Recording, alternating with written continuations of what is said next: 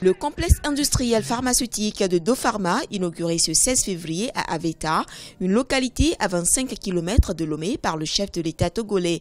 Ce complexe comporte quatre départements, la production, l'ingénierie, l'assurance qualité et le contrôle qualité.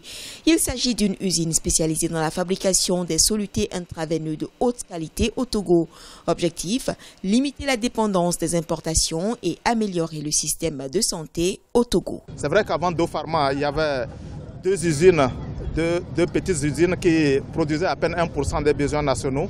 Je pense qu'avec Dopharma, nous allons progresser vers une meilleure maîtrise de nos produits de santé parce que le, le défi que nous avons, c'est la, la grande dépendance de nos pays de l'importation des médicaments. L'usine a une capacité de production annuelle de 18 à 20 millions de flacons de 500 ml, 250 et 100 ml à raison de 3000 flacons par heure.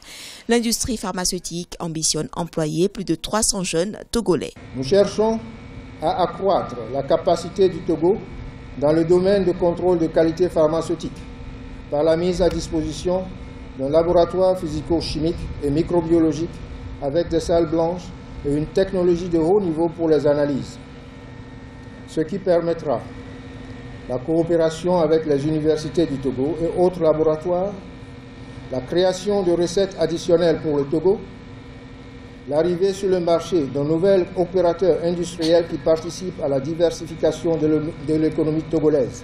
L'usine de production est le résultat du partenariat public-privé et remplit les normes de l'Organisation mondiale de la santé.